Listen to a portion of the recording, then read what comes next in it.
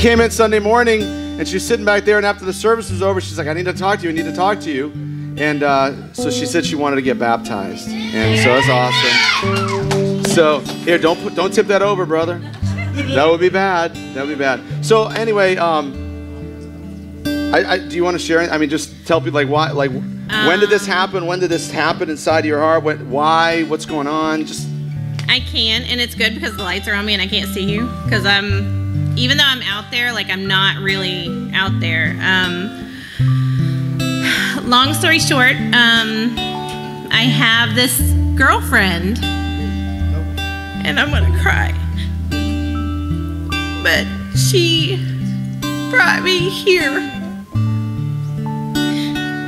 and her and her husband and her son truly showed us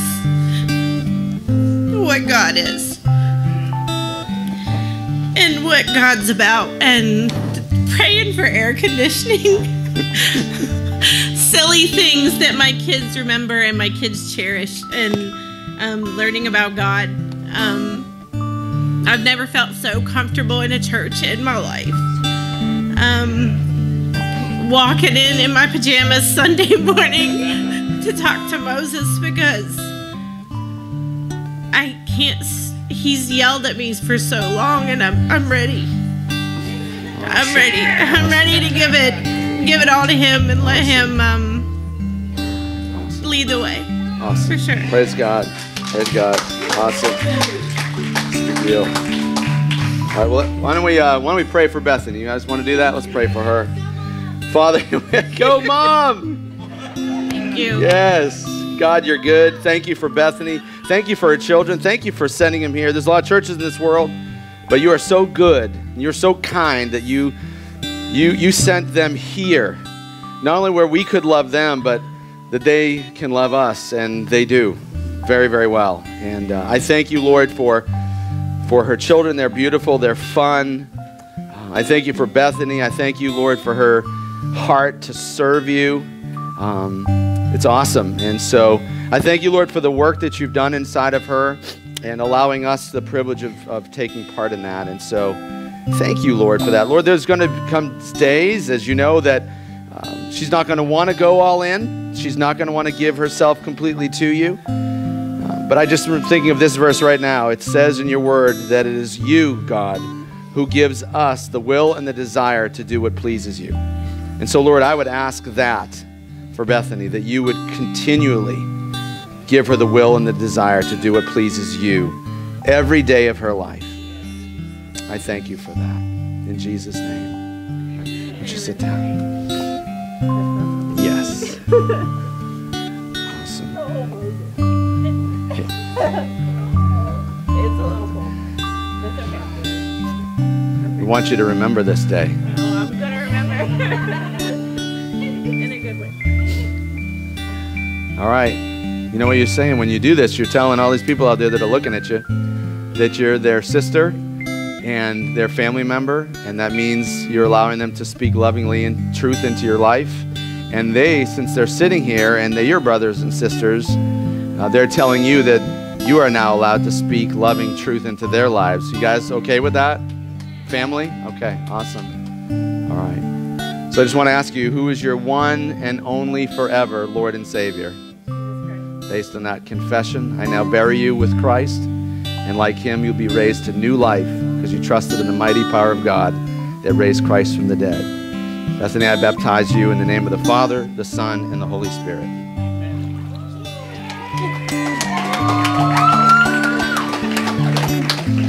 Trying to drown me. Thank you. Awesome. Awesome. Let's give it up for God, man.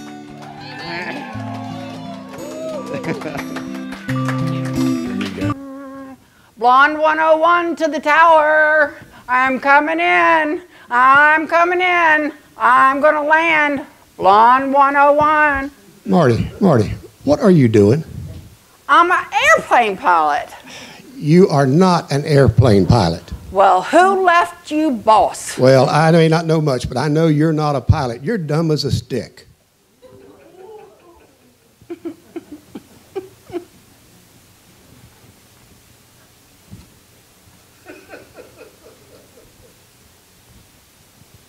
What in heaven's name are you doing now? I'm a pitcher. You know what baseballs are? Uh huh. Okay. Do you? Yes, I do, and you keep messing me. I'm gonna put one upside your head. What, what do you mean you're a pitcher? I'm a pitcher. Watch. Catch. No, no, you, you're not a pitcher. You, you, you, no, you're not a pitcher. You're dumb as a stick. Man, this guy's hard to beat, isn't he?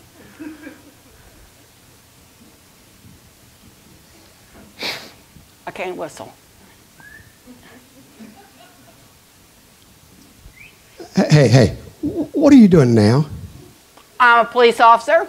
No, you're not a police officer. It's even illegal to impersonate a police officer. What do you think you're doing? I'm impersonating a police officer. No, you're not going to impersonate. You're dumb as a stick. Why don't you come and go to church with me and maybe you'll learn something? You think I'll learn something there? I think you will. Come on and go to church with me. Okay. okay. We sitting over there? Where's the preacher at? All right. All right, I'm ready. All right. Oh, golly. All right, service will start in just a minute. Okay. Okay. All right. Okay, we're going to pray now, okay?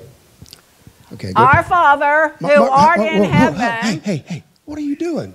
I'm praying. Well, pray quiet. You want to be quiet. You don't want people looking at you. My goodness, just behave, behave. Now, all right. I'm not dumb. All right, now we're going to sing, okay? All right, here we go. Amazing grace, how great. Hey, hey, hey, hey, what, what are you doing? I'm singing. Well, people are looking at you all over. Can't you I sing can't look quiet? at sing. Can't you sing quietly? Yeah, I can sing quietly. Well, well you, you don't. You don't want to do things to embarrass yourself or anybody else. Now, now look, the pastor's coming up. He's going to preach a message, Oh, okay? he, he is so fine. He's got that nice little bald head, and oh yeah. Well, you're supposed to be paying attention more to the words than what he looks like. I'm going to listen to his All right, words. well, we'll just pay attention. Okay, go ahead, sir.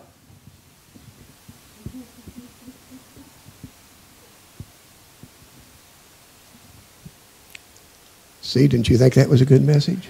It is. And you know what? What? He's talking to me. Jesus is talking to me. I got to go up there and see this man No, no, you don't want to go up there in front of all those people. What, what are you thinking? because my heart says, Jesus, I want to be with Jesus. Well, I, well, I want to be with Jesus, but you don't want to go up there and embarrass yourself in front of all those people. We need to go ahead and get out of here. You know what? You may act like a Christian, you may talk like a Christian, but you dumb as a stick.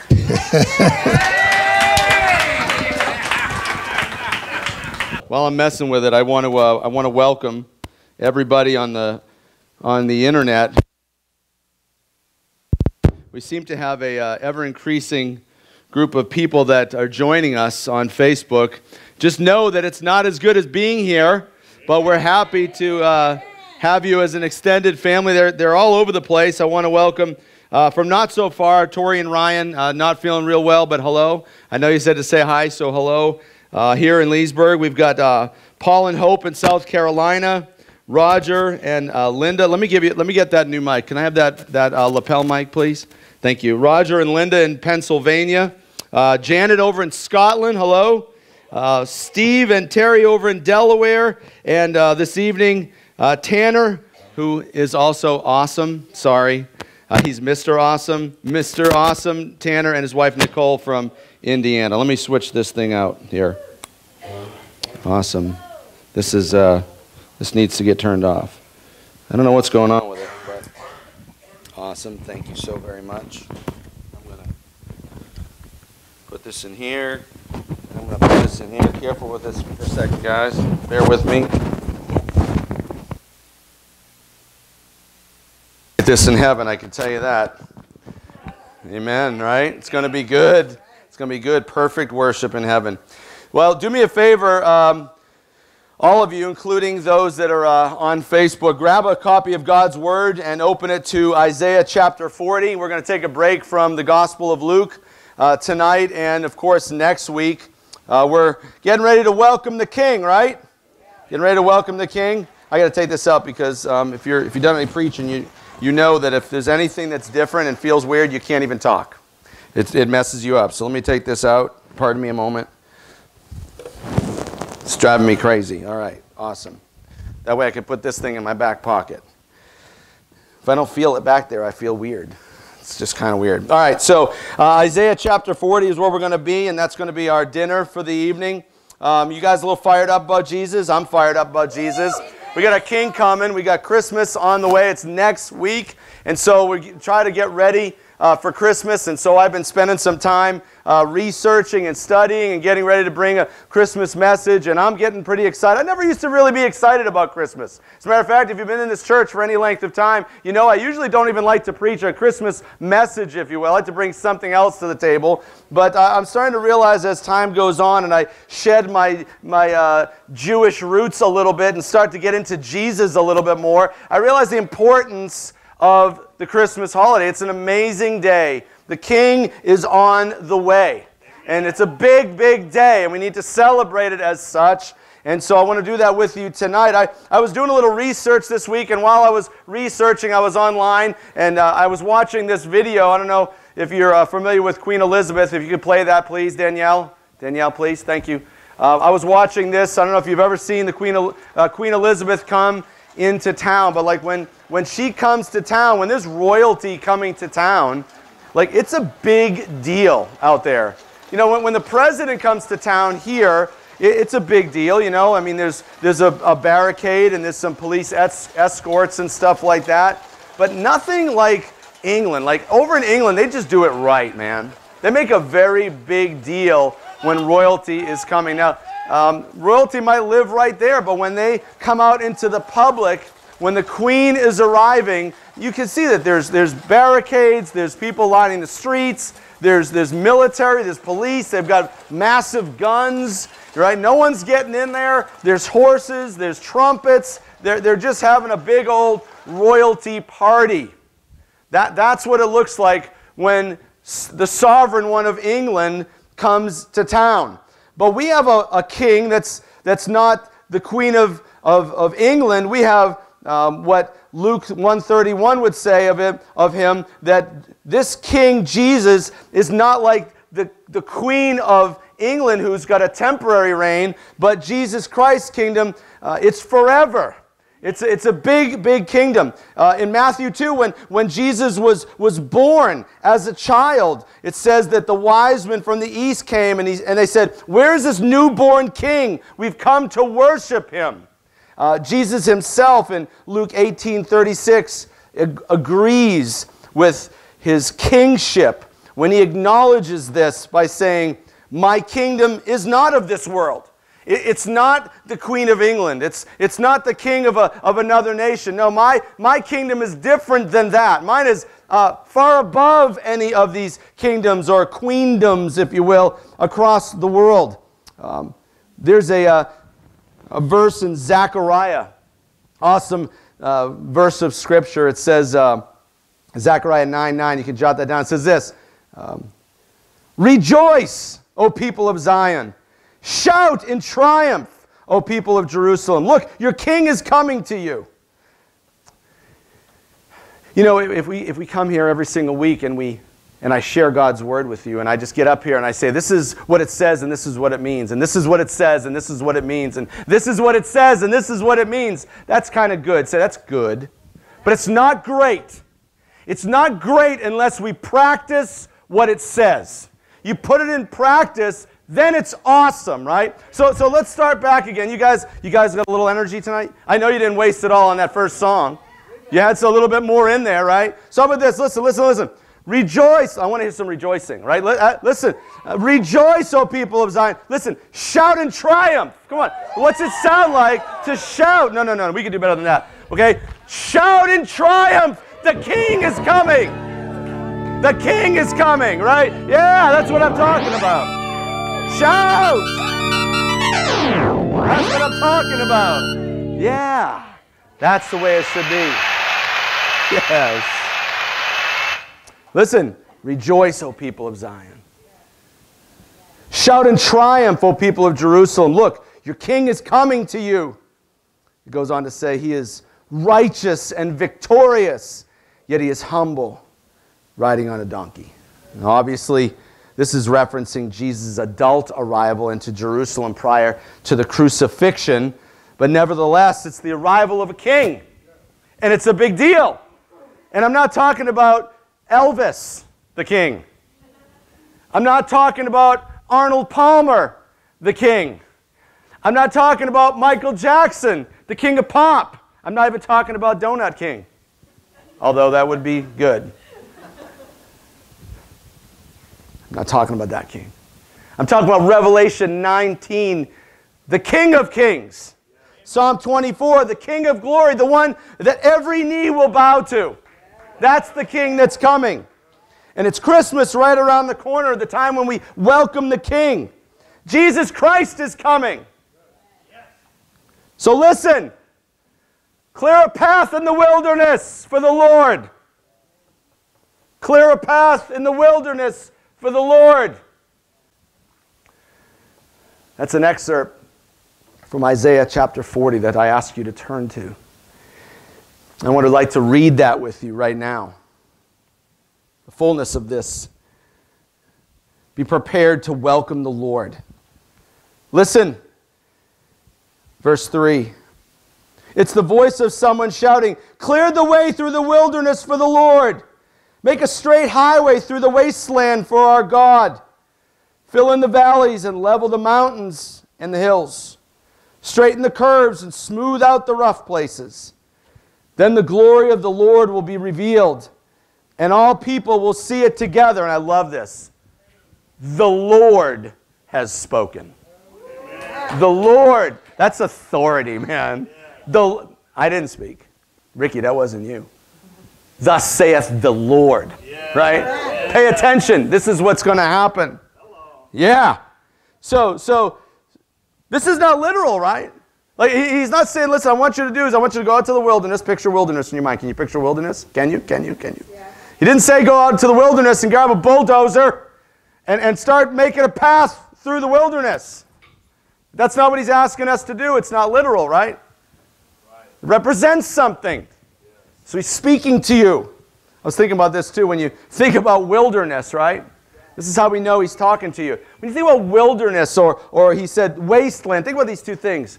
Here's some things that, that, that came to mind when I was thinking about wilderness. Maybe you'd have these same thoughts. I mean, I want you to, to slow down when you read. I want you to think about this wilderness. So I starting thinking, of course, the word wild, it's the root of wilderness. Think about unpredictable long. We think about wilderness, right? You just feel like you're trapped out there. Isn't that what it implies? Usually, when you talk about when someone's talking about wilderness, right? It's, it's a place you've been out there roaming for a long time, right? Think about that. Think about often being lost out there. Lots of unknown. Maybe you're lonely at times, if not often. Unsure of yourself and your future. Scared, right? So I started thinking about these things, and it dawned on me that the Lord in his perfection just described your life. That's your life. The wilderness is your life.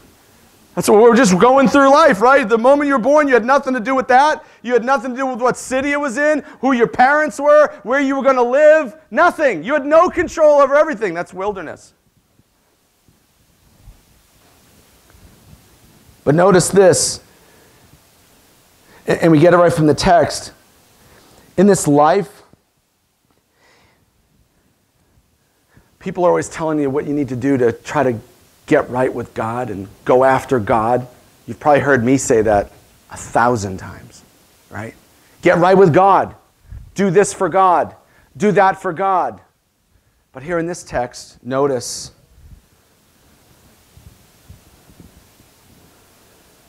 the Lord is coming. He's coming. He's, he's moving from heaven to earth. He's not He's not asking you to come after him, he's coming after you. He, he's moving from heaven to earth. See, that's the difference between Jesus and religion. We're trying desperately to do things to get closer to God. So he'll love us more, so he'll accept us, he'll forgive us. He would use us. And no, this, is te- this text is telling you we've got it all wrong. No, God's moving to you. He's coming down to you. It's awesome truth. The Lord is coming. The Lord is coming. But the question is, is are you go, not are you going after him? The question here that God's word poses to us is are there any things in my wilderness that are hindering him from getting there? That's the question for tonight. The Lord is coming, but will his arrival have the impact that he desires? See, according to the text, this is going to be determined by how we prepare. Right? When, when big things are coming into your life, you prepare for them, right? When a special guest is coming to your house, don't you start cleaning the house?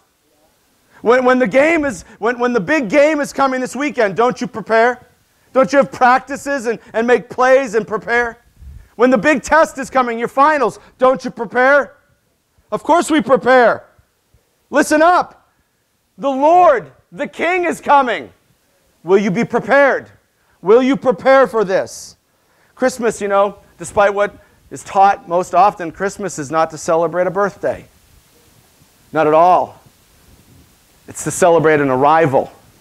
In the beginning was the Word, and the Word was with God, and the Word was God, and the Word put on flesh and showed up in a stable. It's an arrival of this God who always was, invading our space, invading our life to bring forgiveness and hope. That's what Christmas is all about. And much like the arrival of Queen Elizabeth, but even more so, it's a big deal. It's a really big deal. We need to prepare for this because Christmas is coming. The King is coming. We need to be prepared. But listen, before we prepare uh, for his arrival, I want to spend a little time doing something else. First, before we prepare for his arrival, I want to take a look at God's desired goal for his arrival. Okay? That, that's most important. Before we, because we need to know why we are we preparing? Because it's going to call you to something, to do something, and before you see why, you want to know why we should do this. So the, here's the point there's a goal that God has for Christmas, for the showing up of Jesus Christ. is a goal that God has. And so I want to, uh, I want to examine that. And listen, I don't know what you think Christmas is all about, but we're a Bible believing church. So I just got to tell you, it doesn't matter what you think Christmas is all about, and it doesn't matter what I think Christmas is all about. That's all that matters is what does Christ think Christmas is all about. And so it says here, the, the goal for Christmas is right here in verse 5. Put your eyes on it. What does it say? It says, Then the glory of the Lord will be revealed, and all people will see it together. So the king is coming, and upon his arrival, the goal that God has is that his glory would be revealed and that all people would see it. So it's two parts here. There's a specific goal that God has for this Christmas. For, for, for next Sunday and Monday, there's a goal that God has that's specific and big. And big. You know, I, I mentioned uh, a moment ago that it doesn't matter what you think about Christmas or why you think we even have it, what the most important thing is. But just for giggles, let me, we, we, we, we polled uh, 10,000 people. No, we did not. And, and, and the top six answers are on the board. No, they're not. Of, of what America Christmas is all about. What, what is America Christmas all about? Give me, give me something. What? Gifts? Right, gifts. That's a big one. What else? What's that? Decorate. So the, the, the, lights, man, we got to rig up the, we're rigging up the lights. We got to rig up the lights, right? And we got to go, not only rig up the lights, we got to get in the car and we got to go look at more lights. Lights, lights, lights, lights, lights. Christmas trees. Santa Claus. Elves. On shelves. Family. Right? Family. Um, how about travel, right? Kids are not at school. We got a break. We've been saving up. Maybe we got our Christmas bonus. It's time to travel. We're going to go camping. It's going to be beautiful. Christmas in America is a, a big thing on, on, on Christmas is movies, right? What's your favorite Christmas movie? Christmas Vacation. That's a good one. What else? Christmas Story. Elf. El, elf. What? Scrooge, The Grinch. Big, big, big Christmas movies. And not only is, is movie day big uh, on Christmas, but they that's one of the most popular release dates, right? For movies. Did you know this? All the big movies they come out on Christmas. That would seem good, except that without you even thinking about it, they've done their job of distracting you from the main reason why Christmas is even here.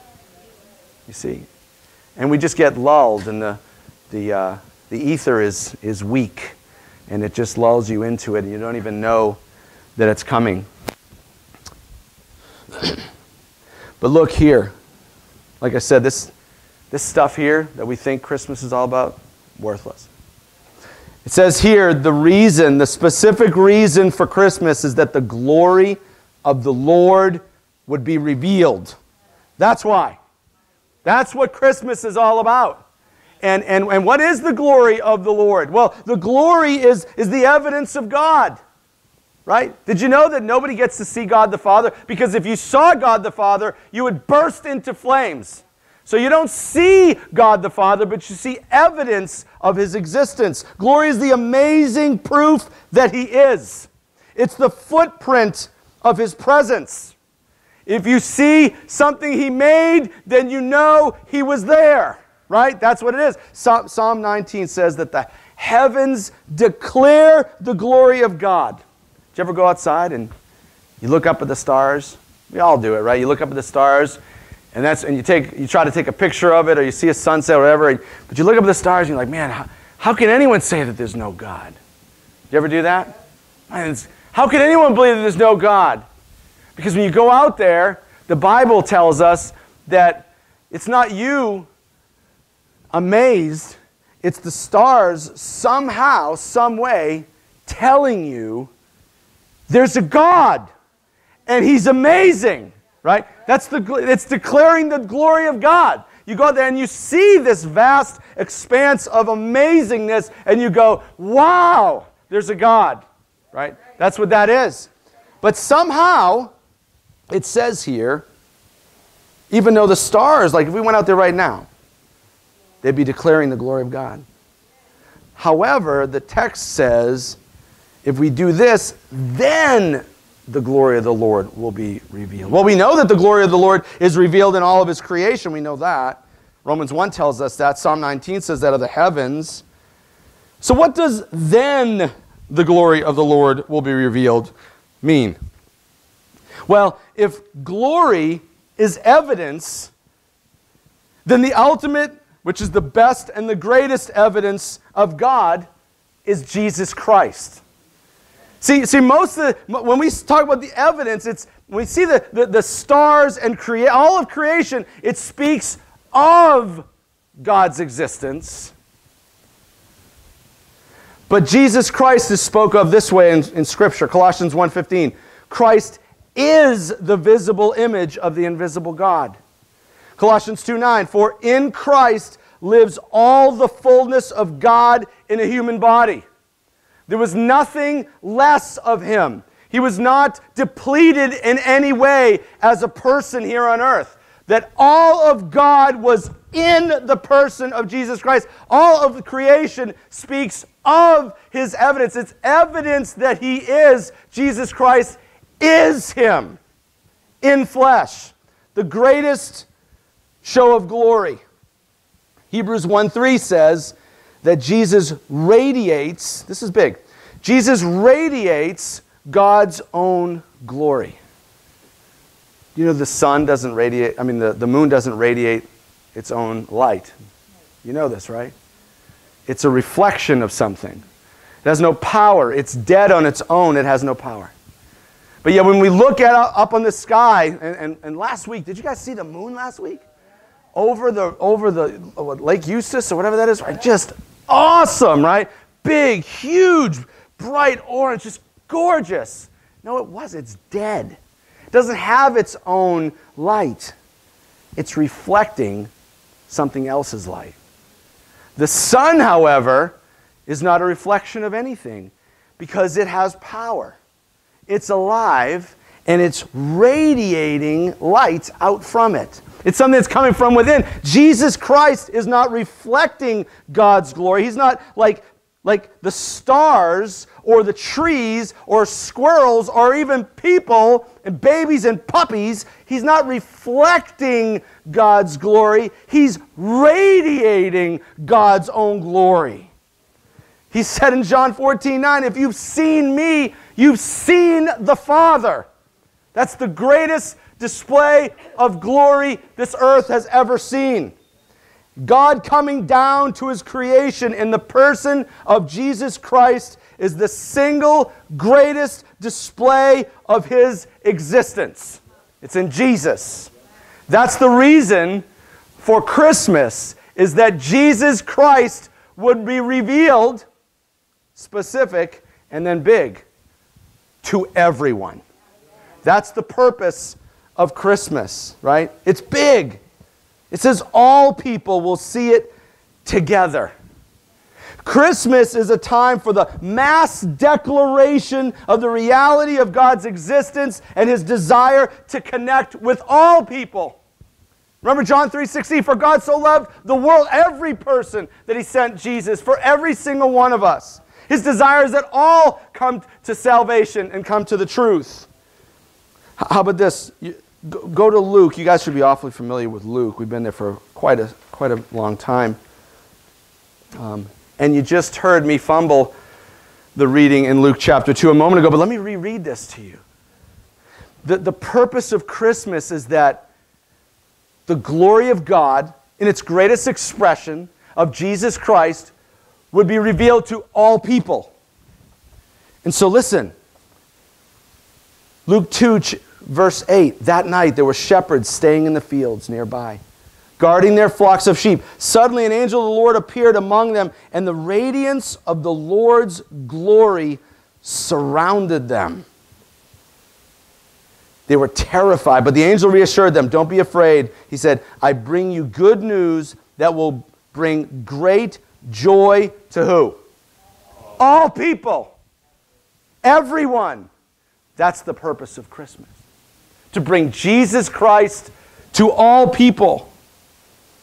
Goes on to say in verse 14, here's what the angels, the, ho- the heavenly host, is singing this Glory to God in the highest heaven, and peace on earth to those with whom God is pleased. Who is God pleased with? Well, if you go back to Genesis chapter 1, and He creates everything on the sixth day, He finishes creation. The last thing He does is He makes people, and He stands back and goes, Hey, this is very good.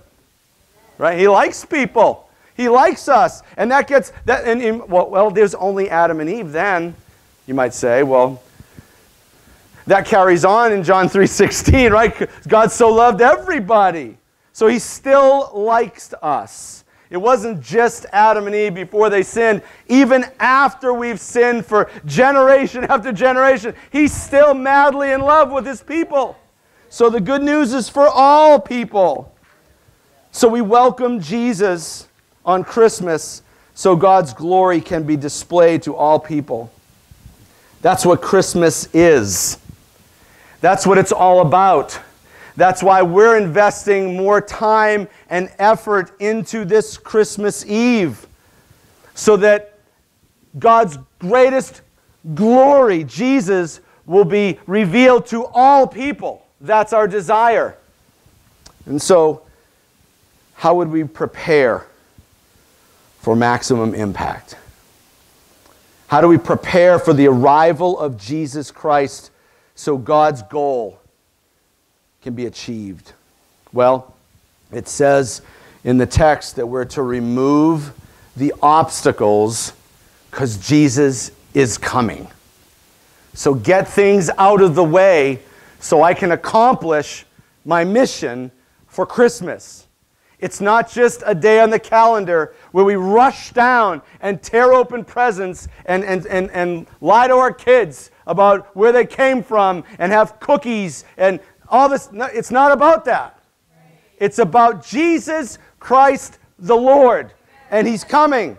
And so, what do we do to make sure that, that God's goal of revealing His glory to, to all people can be achieved to the max here in our place. I- I, can't speak to you about what they're doing in Iceland. And, and I can't talk to you about what they're doing in Cuba. And, I, and China, that's all I can say since we're here is what can we do to allow God to, to have his way this Christmas in this city. That's it. So, what do we do? Well, it says, fill in the valleys. Fill in the valleys. Well, again, remember, this is, this is euphemistic. This is not, this is not go get a bulldozer and, and, and go find, you don't find any valleys around here anyway, right? It's flat. So, so it's not, hey, hey, go get a bulldozer and start filling in the big holes because, you know, Jesus is going to come walking through Ocala down 441. That's not what it is. It's euphemistic, right? Remember? Wilderness, wasteland, it's your life. So fill in the valleys of your life. What, what, so you got to stop. You got to think about this. Like, what does this mean, Lord? What, are you, what are you trying to tell me? Well, Valleys are just low points in the past that would keep you down. There, there, there are things in, in the past that would cause shame and, and guilt and, and old past failures that would yell in your ear that God could never love you and He could never forgive you and He could never, ever use you because you did this thing. Anyone have those? How about some good news then? The good news, if you have those, is that God's love is not predicated upon your performance. It says in Romans 5 8 that God showed his great love for you by sending Christ to die while you were a sinner. Not, not after you stopped sinning, but in the abyss of your sin, he sent Jesus to pay the penalty for this sin. He shows his great love while you're a sinner. And God's forgiveness is not predicated on your performance either. Ephesians 2:8 says that God saved you by his grace. You can't take credit for this. It's a gift of God. And could he use you? Moses, King David, and the apostle Paul, all three of them are murderers. I think he can use you. You might just squeak in you might just squeak in. Fill in the valleys. How about this? How about level the mountains and the hills? You got any mountains in your life? How am I going to get past this one, God? About big obstacles like Santa Claus? The guy was breaking and entering into every home in America and the whole world.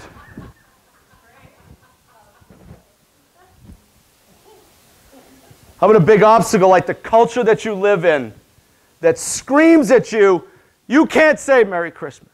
And, and, and, and don't talk about religion and politics, even though that's why we formed this country.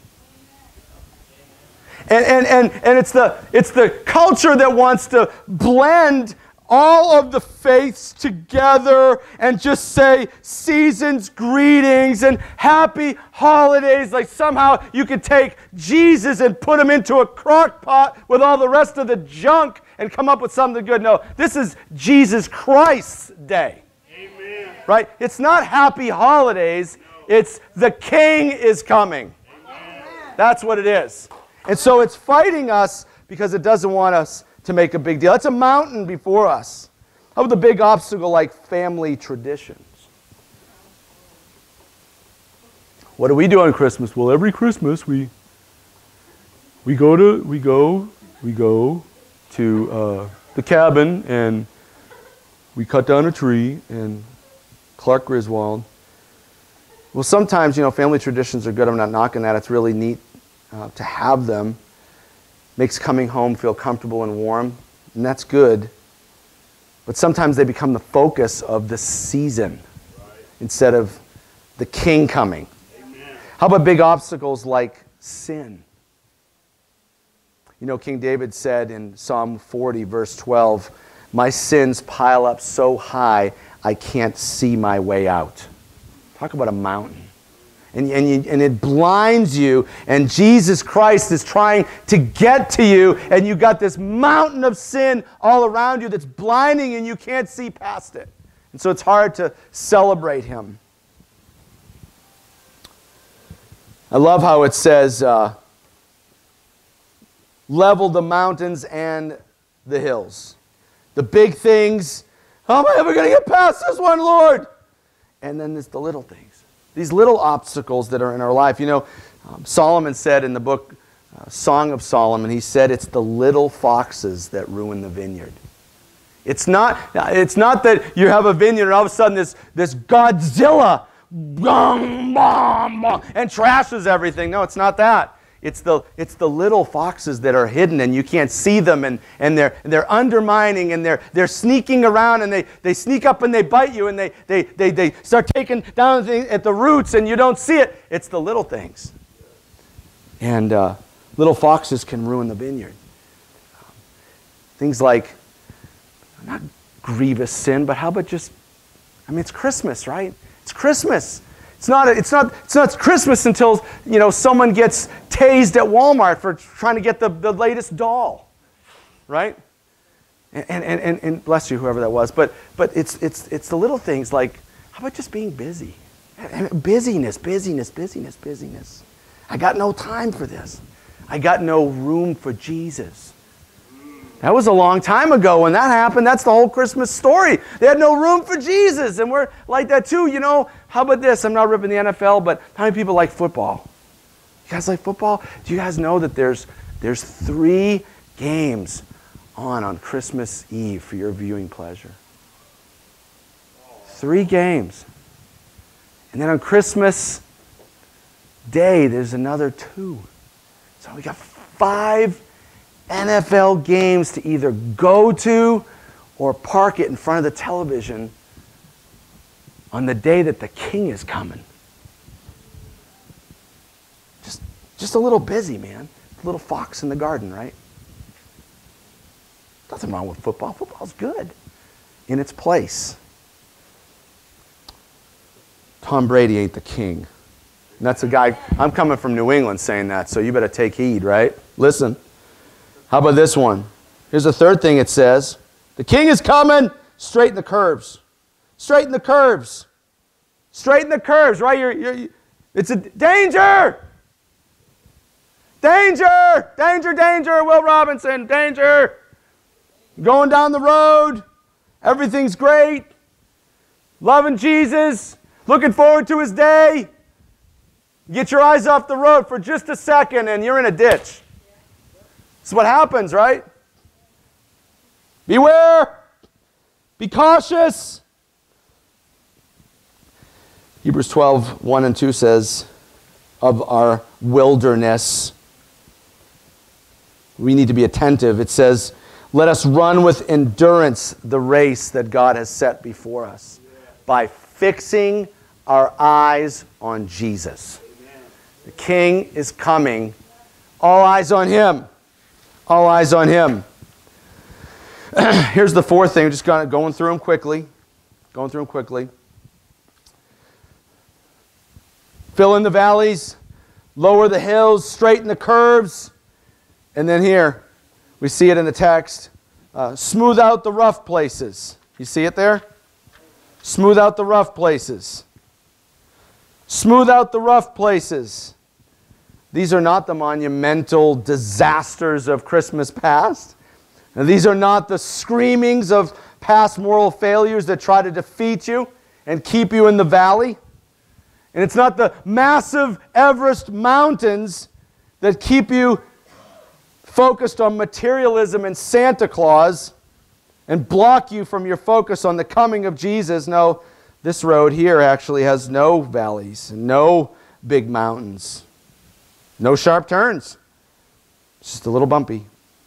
It's just a little bumpy. you know, our Christmas Eve service is coming this Sunday night. Y'all know that, right? It's coming this Sunday night, and I will personally guarantee you that you will have some rough places ahead of you.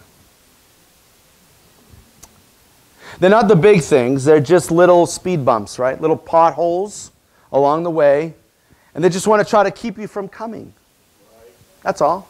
Not, not, not, oh, I'm a sinner, God could never use me, there's no sense in going. No, no, no, I'm not talking about that. I'm talking about the, just the little things that kind of get in the way.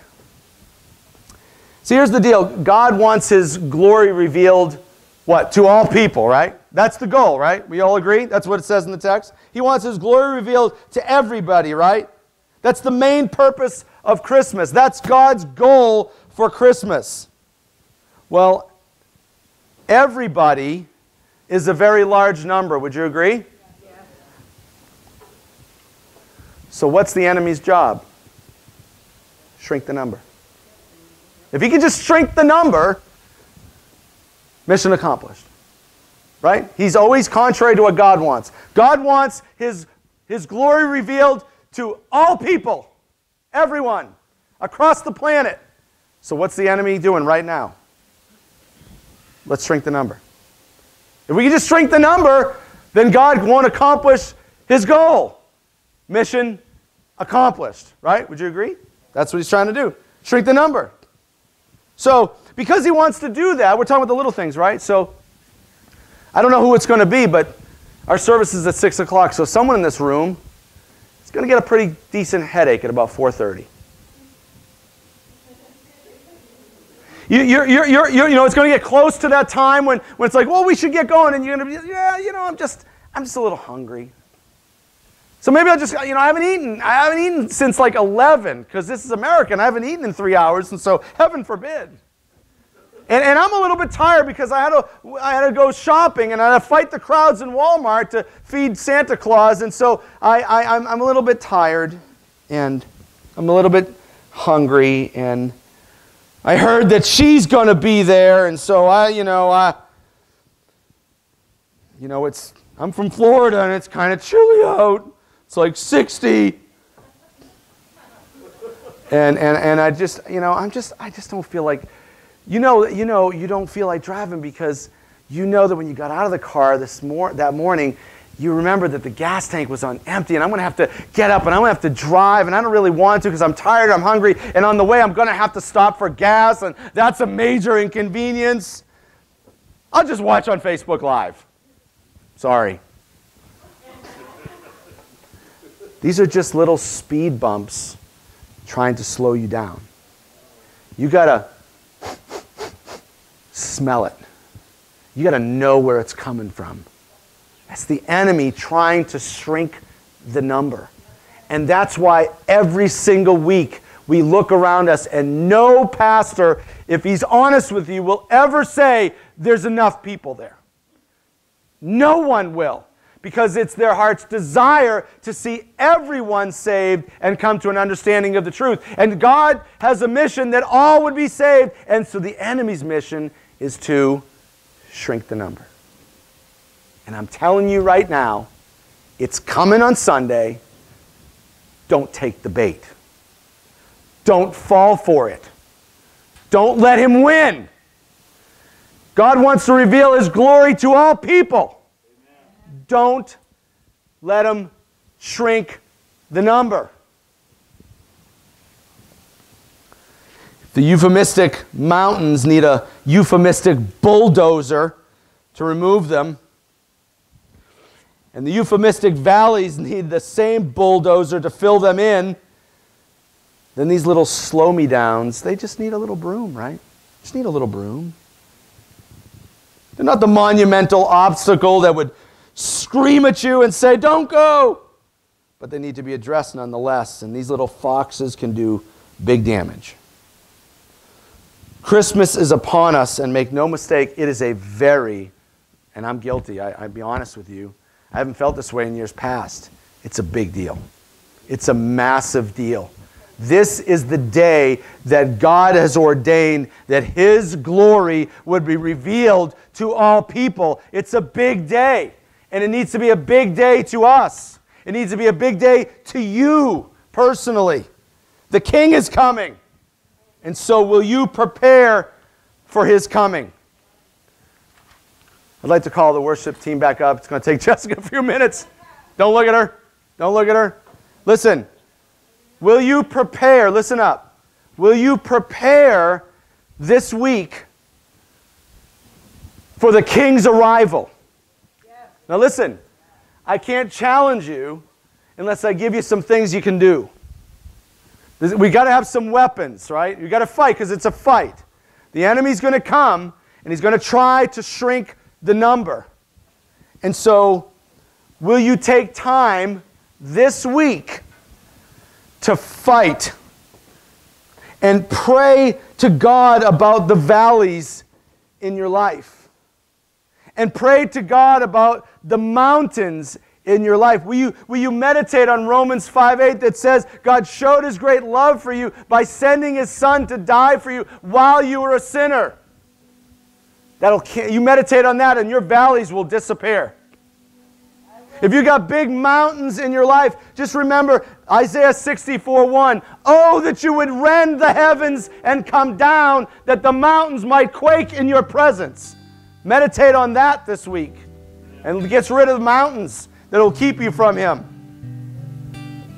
Will you boldly tell others of Jesus Christ this Christmas? Will you, will you lay down the materialism? Will you lay down the Santa Claus? Will you lay down the gifts? Will you lay down what your family wants? If your family comes to town, don't you dare. And listen, I'm telling you right now, if your family comes to town and you don't come to Christmas Eve, I beg you, do not call me and tell me about it. I don't want to hear it. You drag them out here because God's desire is that His glory would, would be revealed to all people. That includes your family. Amen. Don't let them keep you home. You make them come see the glory of God. Amen. And God is going to use us to take an invisible God and make him visible. That's why we're gathering on under the stars on Sunday night. You remember Queen Elizabeth, right? It's a big deal. She's a big deal. But Queen Elizabeth ain't Jesus. The queen ain't coming. The eternal King of glory is coming next Sunday night. God's shooting for all people to see his glory. And the enemy will try to shrink the number. So how will you respond to the 430 headache? How will you respond to the I'm just a little tired? How will you respond to the call from your mother, your father, your brother, your sister, your neighbors that say, hey, why don't we go watch the game? How will you respond to that? Will you let the enemy shrink the number by allowing you to take the bait so you won't be here? Will you do that? Or will you show up, prayed up, dragging your family and your neighbors and your friends right here to the church so that God's glory can be revealed even to them. What's it going to be? The king's coming. The king is coming. Shouts of triumph. Right? Shouts of triumph. The king is coming. I want you to remember the video you saw about Queen Elizabeth and what these people do for a woman to come through town on a carriage. Remember that, and remember that the King of Glory, the one who invaded this earth so you could be saved, he's coming. Praise God, he's coming, right? Awesome. So let's prepare for that. We'll see you all here next Sunday night to give glory to God and bring people. In our last location, we had no parking lot. It's not an issue anymore, is it? Home Depot's closed that night. The Pet Lodge is closed that night. We've got a very large parking lot out there so that the invisible God can become visible. So come and let's give glory to God. Amen. Father, thank you so much for sending your Son. Help us to just meditate and reflect on that even now.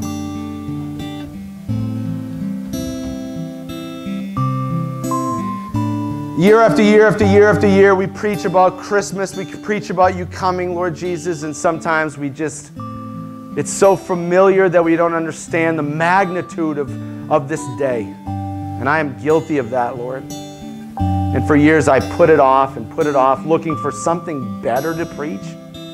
What's better, Lord? What's better than you coming here to save me? So, Lord, we rejoice in your arrival. We are preparing for your arrival. We celebrate your arrival. And we want everyone, just like you, we want the whole world to see the glory of God displayed in the coming King, Jesus Christ the Lord. The King is coming. The King is coming. Hallelujah. The King is coming. Amen. Hallelujah. The King is coming. Woo! Amen. Amen. Come, Lord Jesus. Let's get to our feet and let's sing to this God. Let's celebrate this coming of the King. Let's tell him how much we love him, how much we appreciate him coming and saving us. Come on, church, wake up. You got something left in the tank, don't you? Mm-hmm. Let's sing triumphant arrival of King Jesus. Let's sing. Amen. Come on.